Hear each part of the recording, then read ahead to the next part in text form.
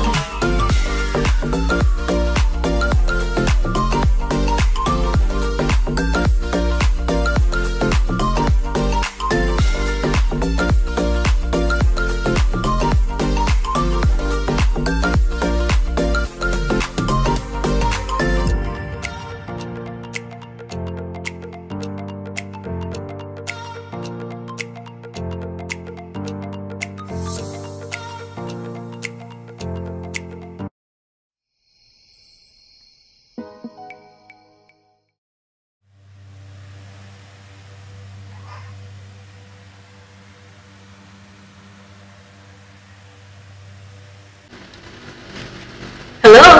Wow! Mic test. One, two, three. Alright, natapos nang na-set up yung ating microphone tsaka yung ating sound card. Next na gagawin natin, ito-check, ito-test lahat kung gumagana.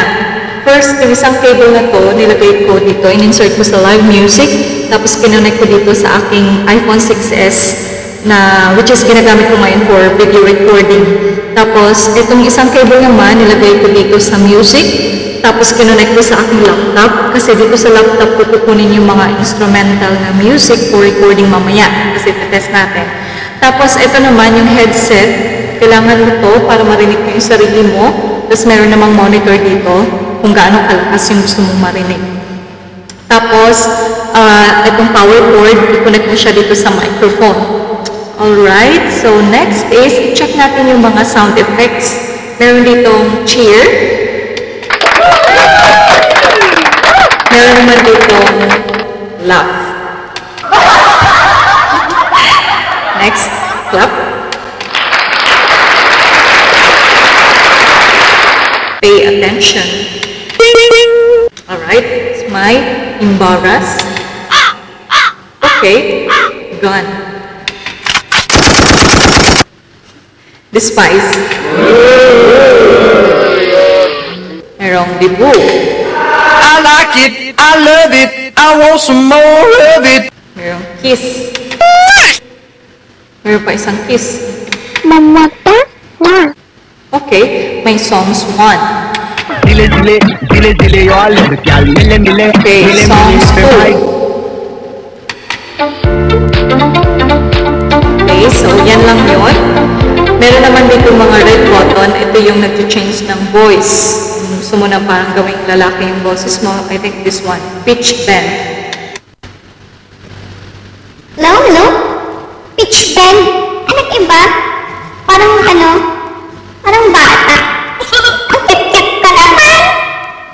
Electro. Yan. Long press. mo lang para back to normal.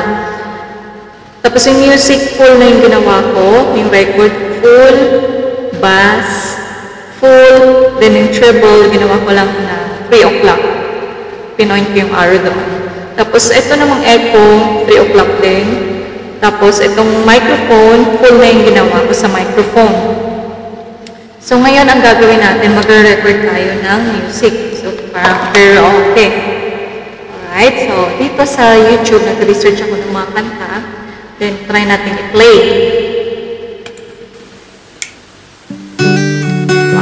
Okay. Very good to start.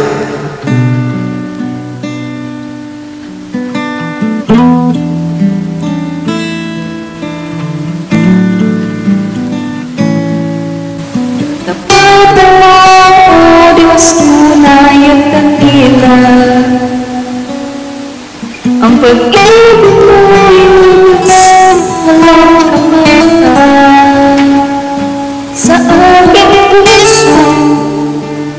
sa aking buhay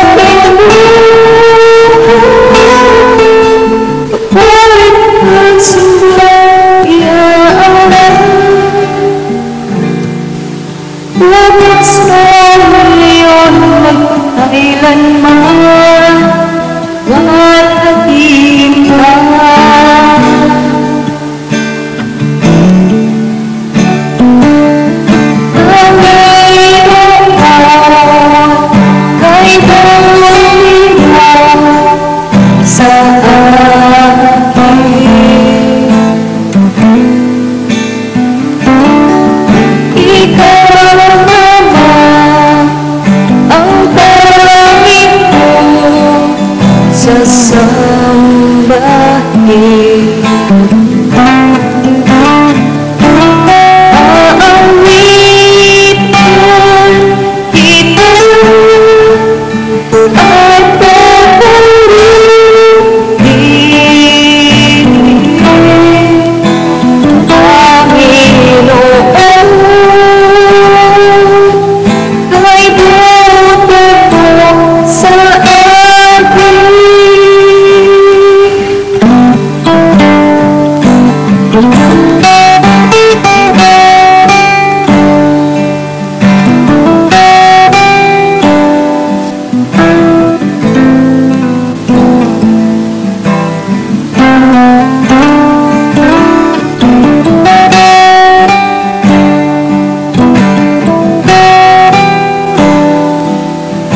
Sa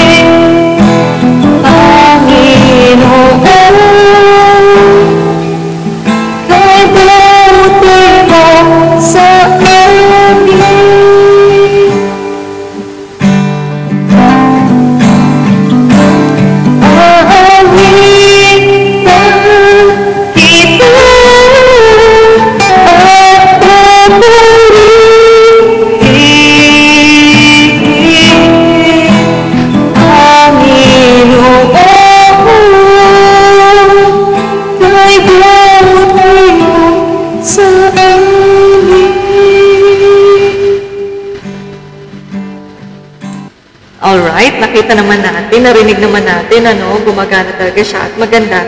So, sa halagang 800 pesos, pwede na, meron ka ng uh, mini studio.